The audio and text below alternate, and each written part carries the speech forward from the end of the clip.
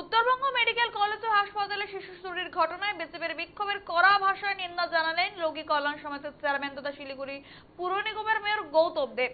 গৌতম দেব বিজেপিকে ভৎসনা করে বলেন বিজেপির কাজে বিশৃঙ্খলা সৃষ্টি করা পাশাপাশি শিশু চুরির ঘটনায় শিশুটির পরিবারের গাফলতিকেও দায়ী করেন গৌতম দেব। তার দাবি, শিশু তার পরিবারের অসাবধানতার কারণে অল্প সময়ের মধ্যেই শিশুটিকে নিয়ে চলে গেছে। এদিকে হাসপাতালে সুপার সিসিটিভি ক্যামেরার খারাপ থাকার বিষয়টির সঙ্গে নিরাপত্তা কর্মীর অপ্রতুলতার বিষয়টি স্বীকার করে নিলেও গৌতম দেব তা স্বীকার করেননি। তবে বিজেপির হাসপাতাল চত্বরে এভাবে বিক্ষোভের কড়া নিন্দা জানান তিনি। তার মতে, এভাবে একটি স্বাস্থ্য কেন্দ্রের ভেতরে আন্দোলন করা অবাঞ্ছিত।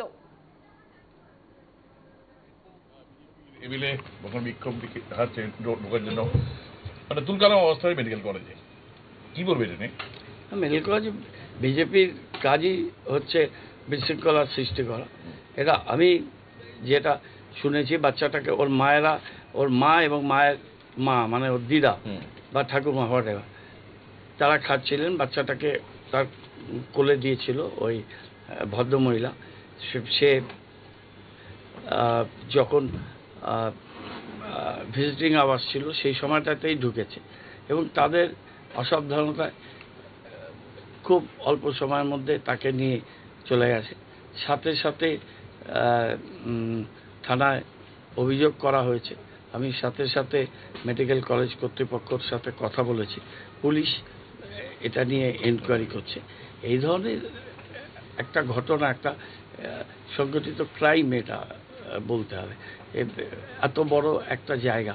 সেইটা নিয়ে রাত্রেবেলা এগারোটা পর্যন্ত এমএসভিপিকে ঘরের মধ্যে আটকে রাখা এটা খুব দুর্ভাগ্যজনক। এটা স্বাস্থ্য কেন্দ্র এখানে প্রচুর মানুষ স্বাস্থ্য পরিষেবা নেওয়ার জন্য আসেন এবং প্রচুর পেশেন্ট ভর্তি আছে এইটা বুঝে কোনো আহ, স্বাস্থ্য কেন্দ্রের ভিতরে এইভাবে আন্দোলন করা এটা অবাঞ্ছিত।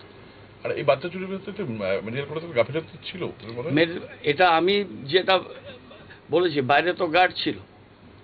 সিসি ক্যামেরা ছিল, একটা দুটো সিসি ক্যামেরা হয়তো কাজ করেনি কিন্তু ফাইনালি কোনো সিসি ক্যামেরা এটা ডিটেক্ট হয়েছে। একটা অটো না টোটোতে করে নিয়ে গেছে যেগুলো এগুলো ইনভেস্টিগেশনের ব্যাপার। আমি অত ডিটেল বলতে পারব না। আমার অফিস থেকে পুলিশের সাথে কথা হয়েছে।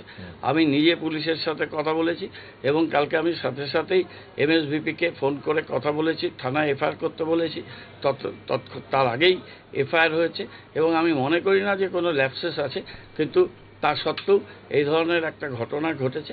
ঘটনাটা খুব দুর্ভাগ্যজনক। কিন্তু তার জন্য এইভাবে এই, এটাকে খোঁজা হচ্ছে, বাচ্চাটাকে পাওয়া এবং ক্রাইমটাকে যে করেছে এই ক্রিমিনাল অ্যাক্টিভিটিস তাকে ধরা।